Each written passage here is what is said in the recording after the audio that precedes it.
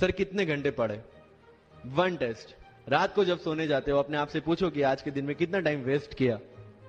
वो वेस्ट होता टाइम जब कम होता दिखे, समझ लेना कि you are on the right track